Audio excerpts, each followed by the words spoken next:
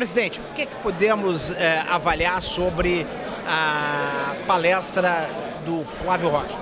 O manifesto do empresário representa como o Brasil tem possibilidades de encontrar soluções, soluções da iniciativa privada.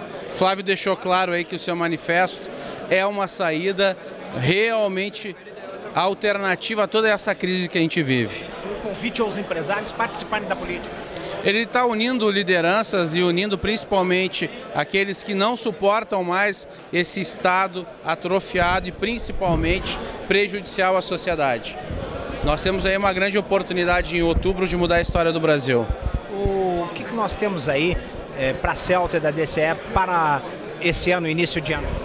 Muito trabalho, é um ano desafiador, é um ano que provoca as lideranças e a gente tem que fazer protagonismo com o trabalho e a iniciativa privada tomando a frente.